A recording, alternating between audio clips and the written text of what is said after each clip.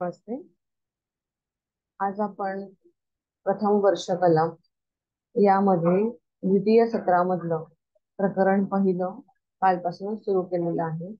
यामध्ये आपण आता पुढचा प्रश्न बघणार आहोत. पंचायत राज व्यवस्थेची रचना आणि कार्य पंचायत राज व्यवस्था म्हणजे काय?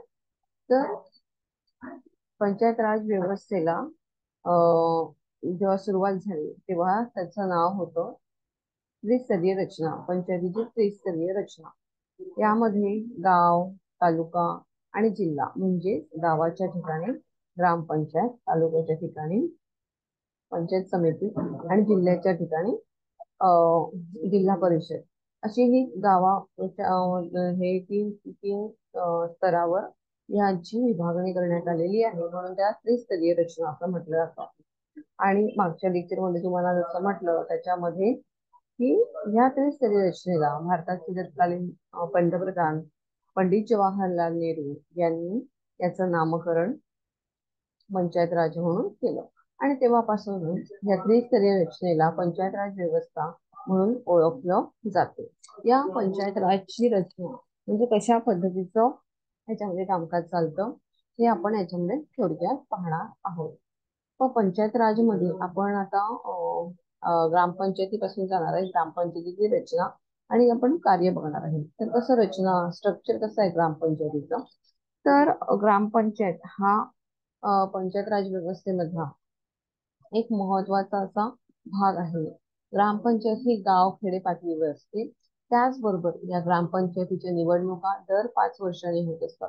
तसंच याच्यामध्ये ग्रामपंचायतीमध्ये कमीत कमी सतरा आणि जास्तीत जास्त कमीत कमी सात आणि जास्तीत जास्त सतरा सदस्य असतात. म्हणजेच काय? त्या गावाची लोकसंख्या किती आहे? त्या लोकसंख्येवरती ही सदस्य संख्या निर्धारित केली जाते. कोणत्याही गावाची स्थापना करताना त्या गावामध्ये किती कमीत कमी किती लोकसंख्या असणं गरजेचं आहे? तर सहाशे. सहाशे पेक्षा कमी असलेल्या लोकसंख्ये लोकसंख्येच्या गावाला गट ग्रामपंचायत ग्रामपंचायतीची स्थापना केली जाते. म्हणजे आता समज दोन तीन गावं आहेत. दोन तीन गावांमध्ये काही गावांमध्ये दोनशे आहे काही गावांमध्ये तीनशे आहे काही गावांमध्ये पुन्हा दीडशे दोनशे असेल तर या दोन तीन गावांमिळून एक ग्रामपंचायत स्थापन केली जाते. तिला गट ग्रामपंचायत म्हणतात. म्हणजेच काय? तर कोणत्याही गावामध्ये ग्रामपंचायत स्थापन करण्यासाठी कमीत कमी सहाशे लोकसंख्या असणे गरजेचं आहे. मग आपल्या गावातील लोकसंख्या कशी किती आहे? त्यावर आपल्या गावामध्ये किती सदस्य असावे हे निर्धारित केलं जातं. तसंच त्र्याहत्तरव्या घटना दुरुस्तीनंतर ग्रामपंचायतींना आरक्षण देण्यात आलेलं आहे. यामध्ये ग्रामपंचायतीमध्ये लोकप्रतिनिधी म्हणून सरपंच हा अध्यक्ष असतो आणि त्याच्या अनुपस्थितीत त्याचा कारभार थांबू नये त्याचं काम होऊ रोखलं जाऊ नये किंवा या गावातील लोकांच्या समस्या त्वरित सोडवण्यासाठी म्हणून त्याच्या उपस्थितीत उपसरपंच काम किंवा कारभार बघत असतो.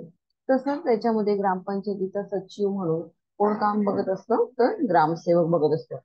सरपंच उपसरपंच हे लोकप्रतिनिधी आहेत. ते प्रत्यक्ष निवडणुकीतून निवडून आलेले असतात. तर ग्रामसेवक हे त्यांच्या क्वालिफिकेशन त्यांचं काय एज्युकेशन क्वालिफिकेशन आहे त्याच्यावरती ते काय आलेले असतात त्या पदावरती आलेले असतात.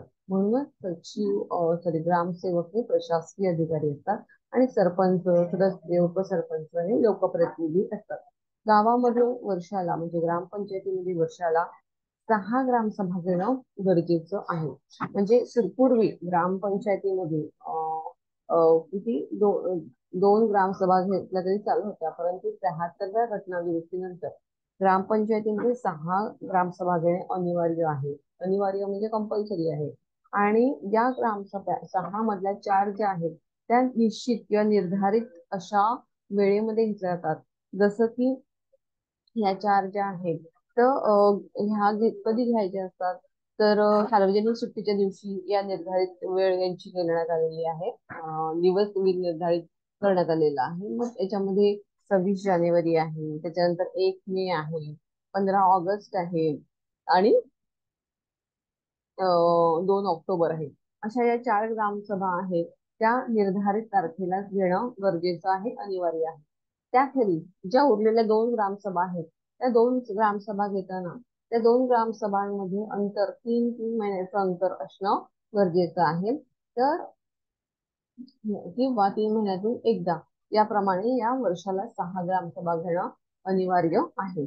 अशा प्रकारे ग्रामपंचायतीची ही रचना करण्यात आलेली आहे. या मग आता ग्रामपंचायत गावाच्या ठिकाणी असलेली ग्रामपंचायत नेमकी काय काम करते? तिचं कार्य काय आहे? हे बघणं देखील गरजेचं आहे.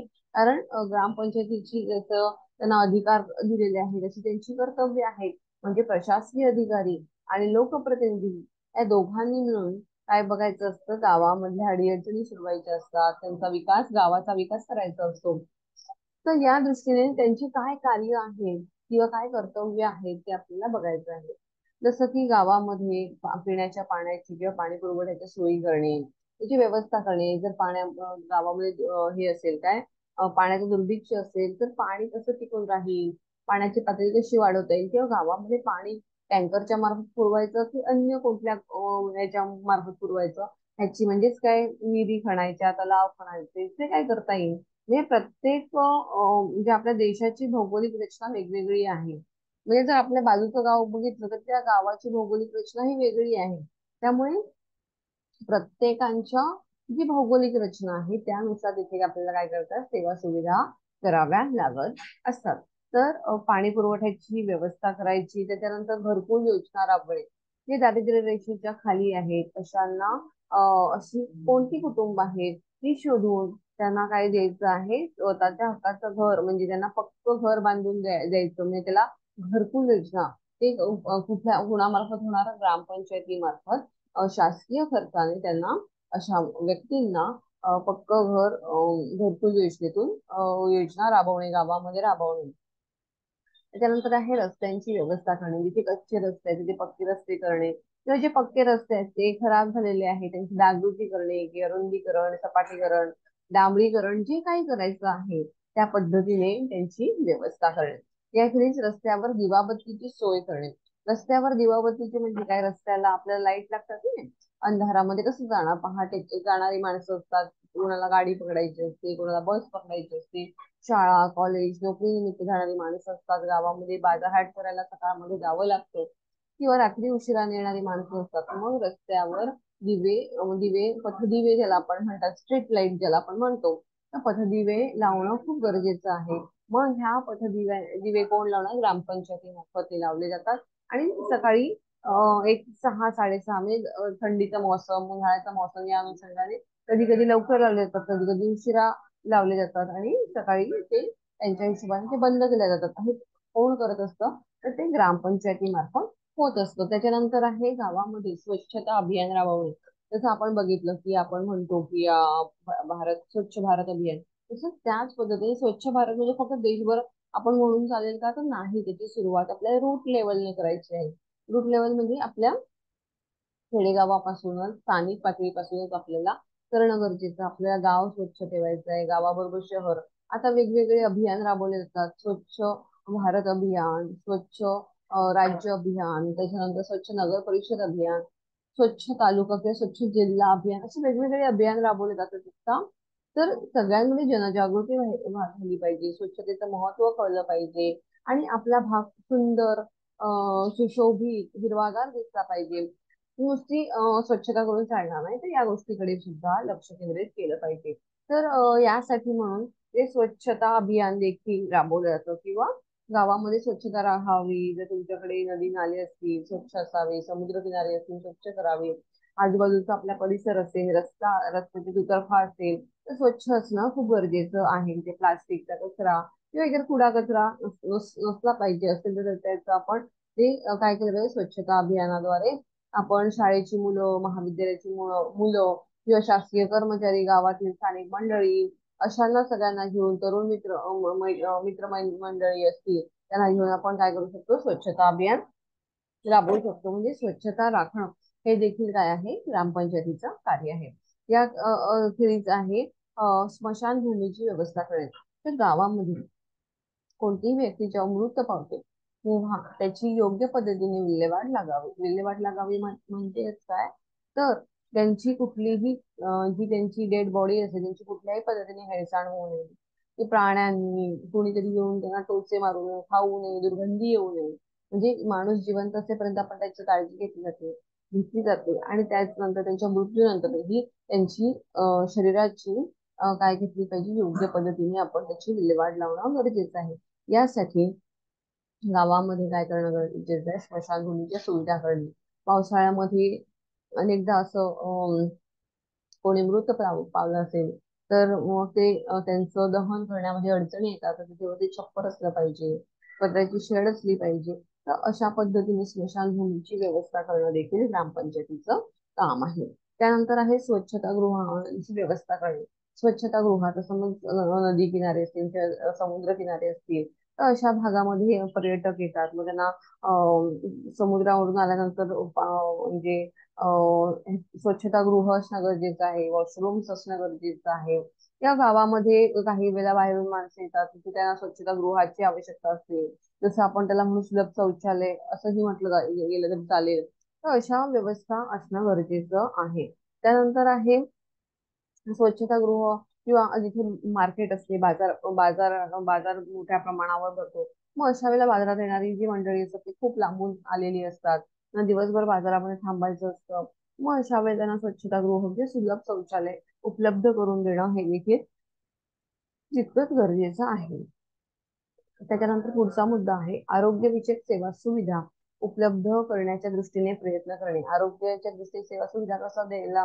प्राथमिक आरोग्य केंद्र ज्याला आपण म्हणतो पीएचसी फिजिकल हेल्थ सेंटर प्राथमिक आरोग्य केंद्र आपण म्हणतो.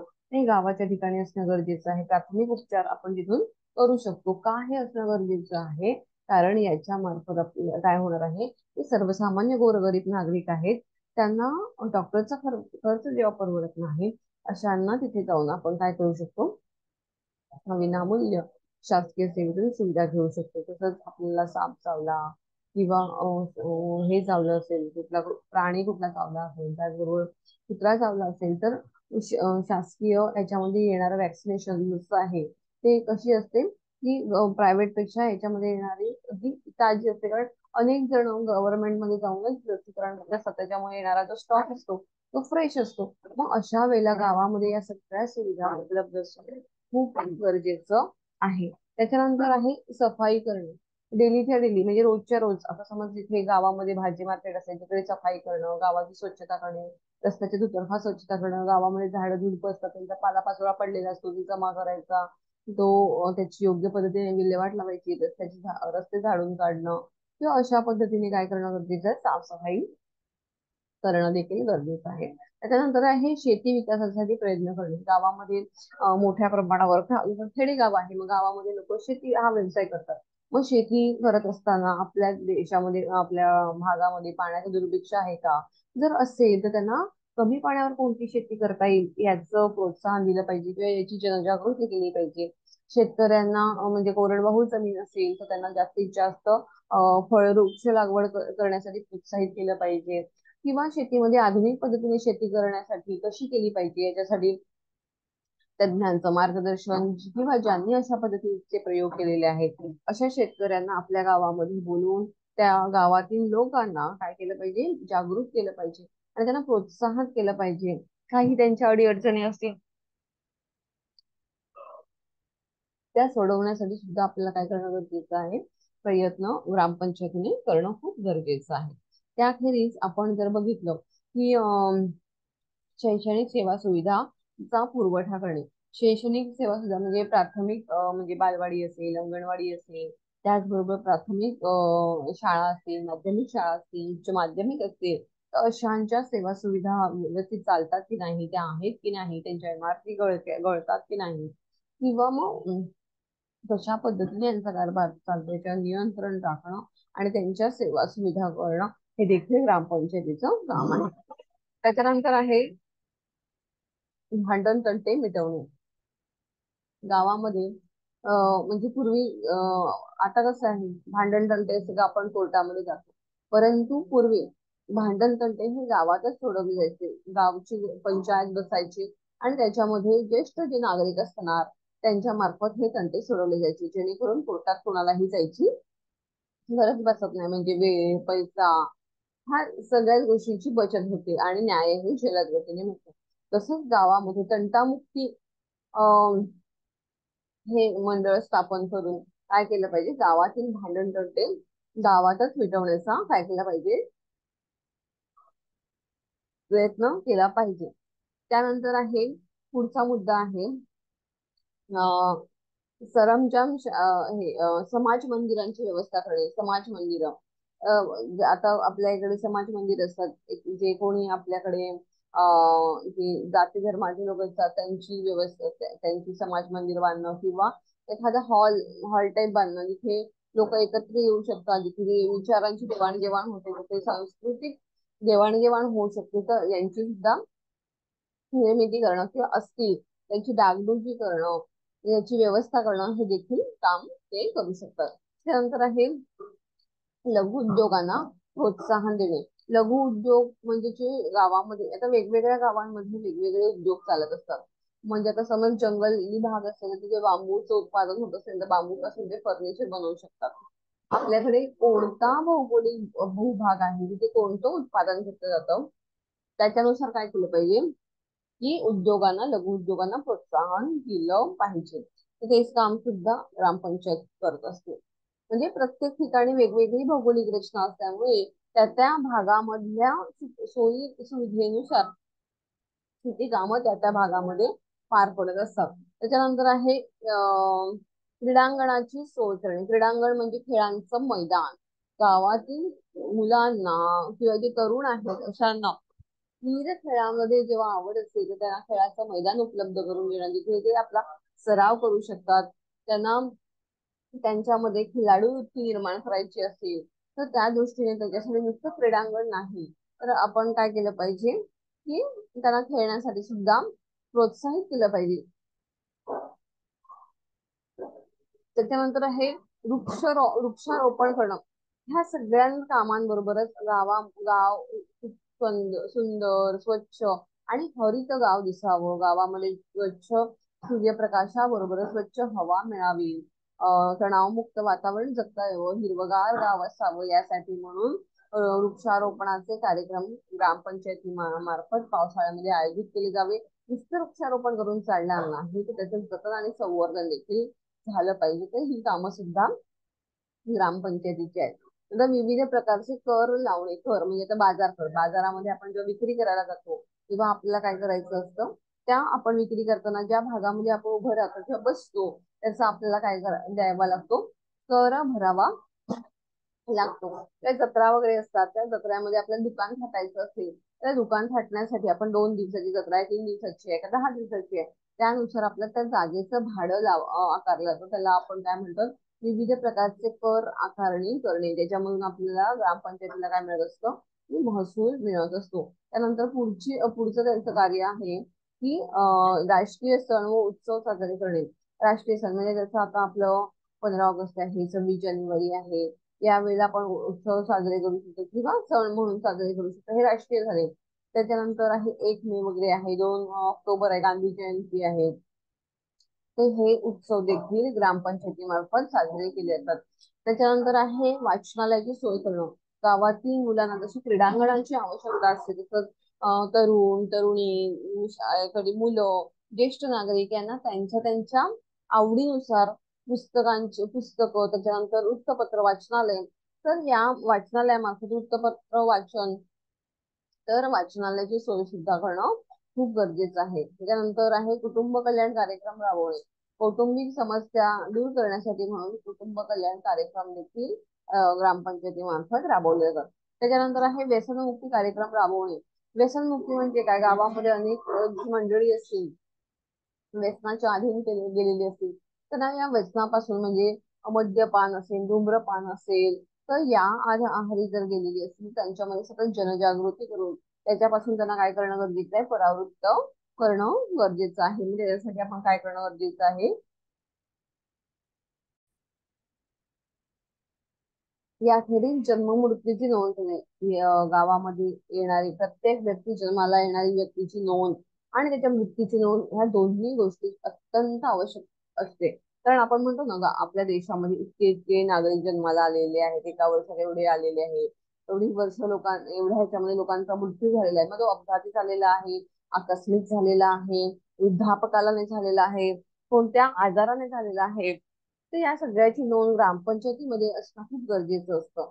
त्याच्यामुळे काय होतं हा गावाचा डेटा तालुक्याला तालुक्याचा जिल्ह्याला जिल्ह्याचा राज्याला आणि राज्याचा देशापर्यंत केंद्रापर्यंत पोहोचत असतो. आणि म्हणून या सगळ्या नोंदी ठेवणं खूप गरजेचं आहे. गावामध्ये किती लोकसंख्या आहे किती लोकसंख्या वाढलेली आहे दरवर्षी येणारी बालक जन्माला. त्यामुळे काय होते गावाची लोकसंख्या वाढते आणि मृत्यू होतात. त्याच्यामुळे गावाची लोकसंख्या कमी होते. मग किती बॅलन्स साधलेला आहे हे देखील त्याच्यावरून आपल्याला कळ समजलं जातं. त्यानंतर आहे महिला व बाल विकास कार्यक्रम राबवणे. महिलांच्या महिलांसाठी कल्याणकारी योजना किंवा बालकांच्या विकासासाठी कल्याणकारी योजना. महिलांसाठी मेळावे बालकांसाठी बाल मेळावे त्यांना मार्गदर्शन अशा प्रकारचे विविध कार्यक्रम देखील राबवणे गरजेचं आहे. त्याच्यानंतर आहे वाहतूक व दळणवळणाचा विकास करणे. गावामध्ये रस्ते नसतील तर वाहत तर रस्ते बांधणे आणि समज बस आपल्याकडे नसतील तर त्या बसेस डेपोवाल्यांशी संपर्क साधून गावामध्ये ज्या वेळेला नोकरदार मंडळी किंवा शाळकरी शाळकरी विद्यार्थी कॉलेजला जाणारे तरुण तरुणी त्यांच्यासाठी त्यांच्या वेळा बघून बस सेवा सुविधा सुरू करणं जेणेकरून प्रत्येकाला सार्वजनिक सेवेचा लाभ घेता येईल आणि त्याच्यामुळे पैशाची आणि वेळेची देखील बचत करता येईल. त्याच्यानंतर आहे पशुसंवर्धन कार्यक्रम राबवणे. पशुसंवर्धन म्हणजे जसं शेती ग्रामीण भागात केली जाते तसंच पशुंचं संवर्धन पण केलं जातं. आणि म्हणून यांना शेती बरोबरच पशुपालन करण्यासाठी सुद्धा प्रोत्साहन देणं गरजेचं आहे. बाजार सोय उपलब्ध करणे. ज्या गावामध्ये बाजारपेठ नसेल तर अशा गावामध्ये बाजारपेठांची सुविधा राबवणे म्हणजे मासळी मार्केट असेल तुमच्याकडे किंवा नदी असेल समुद्र असेल त्याप्रमाणे असतं. त्यानंतर आहे भाजी मार्केट असेल किंवा अन्य जे काय असेल तर बाजारपेठांची सुविधा. म्हणजे अनेक लोक गावातील लोक काय करतात या ठिकाणी आपले खरेदीचे व्यवसाय करतात. आणि जे शेतकरी आहेत जे अन्य व्यापारी आहेत ते आपला माल इथे येऊन विक्रीचे व्यवसाय करत असतात. तसंच ह्या अशा पद्धतीने ग्रामपंचायतीची विविध म्हणजे असंख्य कार्य आहेत. पण याच्यामध्ये आपण काही मोजकी मोजकी कार्य घेतलेली आहेत. त्याच्यानंतर दुसरा मुद्दा आहे पंचायत राज व्यवस्थेचा पहिला पहिल्या पातळी बघितलेली ग्रामपंचायत. हा ही गावाच्या ठिकाणी असते आणि दुसरं आहे पंचायत समिती. पंचायत समिती कुठे असते? तालुक्याच्या ठिकाणी असते. या ही पंचायत समिती अत्यंत महत्वाची अशी पंचायत समिती मानली जाते. कारण गाव आणि जिल्हा या दोघांना जोडणारा दुवा म्हणजे गाव तालुका आणि जिल्हा. मग या दोघांना जोडणारा दुवा दुवा कोण आहे? तर पंचायत समिती. म्हणून पंचायत समिती अत्यंत महत्वाची समिती आहे. तर या पंचायत समितीमध्ये साधारणतः लोकसंख्येच्या प्रमाणानुसार सतरा हजार पाचशे साडेसतरा हजार लोकसंख्येमधून एका सदस्याची निवड केली जाते. याच्यामध्ये पन्नास टक्के आरक्षण हे कोणाला दिलेलं आहे? महिलांना दिलेलं आहे. तसंच लोकसंख्येच्या प्रमाणात आपण सर्वसाधारण आरक्षण घातलेलं गेलेलं आहे. पंचायत समितीचे अध्यक्ष कोण असतात? सभापती असतात.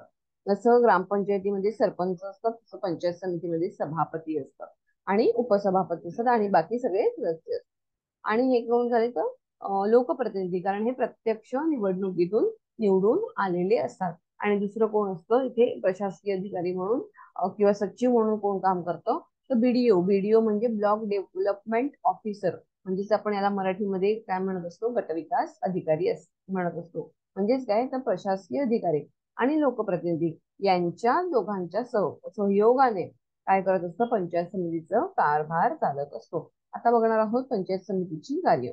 तसं ग्रामपंचायतीची कार्य आहे तशीच आपल्याला तालुक्याच्या ठिकाणी सुद्धा कामं करायची असतात. मग शेतीचा विकास करणं पशुसंवर्धन दुग्ध व्यवसायाचा विकास करणं समाज कल्याण समाजाचं हिताच्या दृष्टीने कल्याणकारी कार्यक्रम योजना राबवणं तालुक्याच्या ठिकाणी शिक्षणाच्या सुविधा इमारत असतील पाण्याच्या सुविधा शाळेच्या ठिकाणी त्याचबरोबर विविध कार्यक्रम राबवणं विद्यार्थ्यांना प्रोत्साहन करण्यासाठी विविध स्पर्धांचं आयोजन करणं अशा विविध गोष्टी इथे केल्या जातात. त्याचबरोबर आरोग्य व वैद्यकीय सेवा म्हणजे जसं गावामध्ये प्राथमिक आरोग्य केंद्र असतं या ठिकाणी सुद्धा काय करणं गरजेचं आहे? आरोग्य केंद्राची स्थापना करणं गरजेचं आहे. त्यानंतर इमारती व दळणवळण.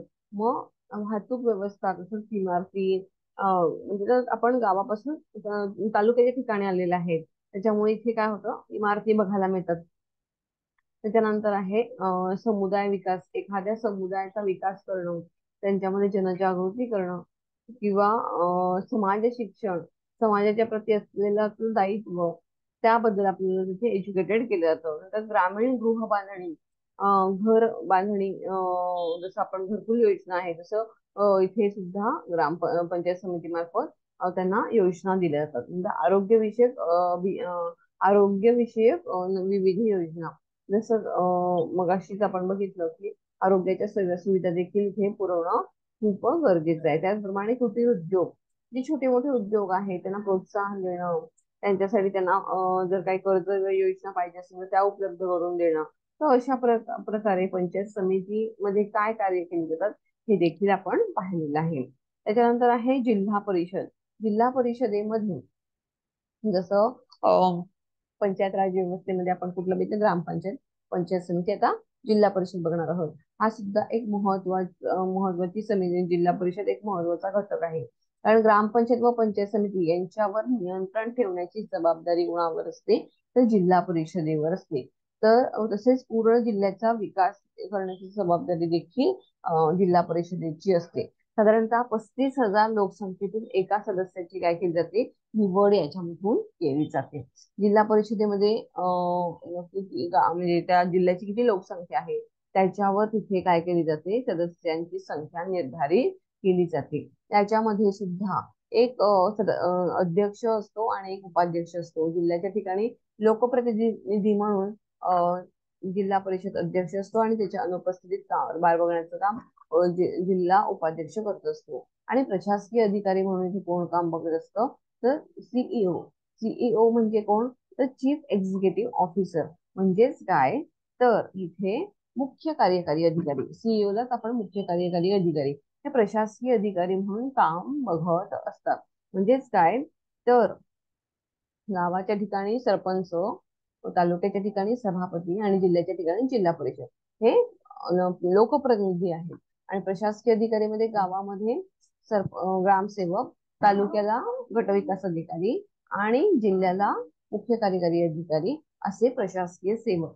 म्हणजे ग्राम सर्व प्रशासकीय अधिकारी आणि लोकप्रतिनिधी लोकप्रतिनिधी यांच्या संयुक्त विद्यमाने किंवा त्यांच्या एकत्र येऊन काम करण्याने काय होत असतं? एकत्र ते जिल्ह्याचा कारभार पाहत असतात. मग यांची कार्य काय आहे ते सुद्धा आपण इथे बघणार आहोत. त्याच्यामध्ये जिल्हा परिषदेची काय कामं आहेत? तर सर्वप्रथम आहे कृषी विकास. जसं आपण तालुक्याच्या ठिकाणी बघितलं शेतीचा विकास. जिल्ह्याच्या ठिकाणी. जिल्ह्यामध्ये शेतीची व्यवस्था कंडिशन कशी आहे? कोणती कोणती पिकं लावणं अपेक्षित आहे? जर शेती आहे पण पिकं घेत नाहीत मग ती का घेत नाहीयेत? मग त्यांना काहीतरी आपण झाडं देणं गरजेचं आहे का? म्हणजे जेणेकरून तुम्ही लावा आणि याचं उत्पन्न घ्या. पण तुम्ही काहीतरी कामधाम करा. यासाठी कृषीचा विकास मग पारंपरिक असे आधुनिक पद्धतीने शेती करण्यासाठी त्यांना प्रोत्साहित करणं नवनवीन शेतकऱ्यांना काय करणं कर्ज योजना पुरवणं अशा विविध कामं कोण करत असतं? जिल्हा परिषदेमार्फत शेतीशी संदर्भात होत असतात. त्याच्यानंतर पशु संवर्धन व दुग्ध व्यवसाय जसं पंचायत समितीची काम आहे तशी सेम आहे फक्त ही थोड्या मोठ्या स्केलवर आहेत तालुक्याच्या पेक्षा तर पशुसंवर्धन आणि दुग्ध व्यवसायासाठी म्हणजे जे पशुपालक आहेत जे गाई म्हशी यांचं पालन करतात तिथून त्याला पशुपालक म्हणतात येतं मग पशु संवर्धनासाठी म्हणजे शेती काही ठिकाणी बाराही महिने पाऊस पाऊस पडत सॉरी बाराही महिने शेती केली जात नाही फक्त पावसाच्या पिकावर केली जाते. मग अशा वेळेला आपल्याकडे शेती असून सुद्धा अनेक लोक काय करत असतात? स्थलांतर करतात का?